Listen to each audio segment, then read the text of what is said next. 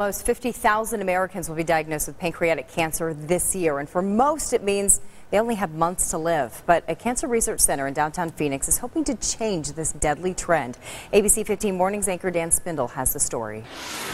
Jennifer Harper is known as the fish lady, and seven days a week you'll find her here tending to hundreds of zebra fish. They've got perfect lighting, fresh filters, and not just flake food either. These fish eat brine shrimp and algae consuming rotifers. I want to make sure these fish are happy, if I put it in a nutshell. But this isn't some kind of a fancy pet store. Jennifer is part of a team at TGen working to fight pancreatic cancer. Whatever research we do in the lab, we're always looking to help patients. Dr. Han told me that late diagnosis is the main killer as the cancer spreads to other organs. Researchers at this nonprofit believe the answer for pancreatic cancer patients might be right here in this petri dish.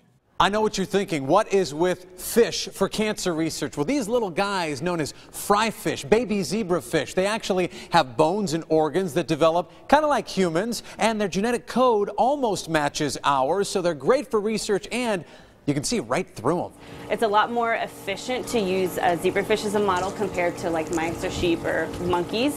TGen's advances have produced medications that mean extra months for patients. The goal, to add quality years to their lives. We're making progress, and especially the progress is coming out of TGen. This team won't rest until they find the answer swimming beneath the surface.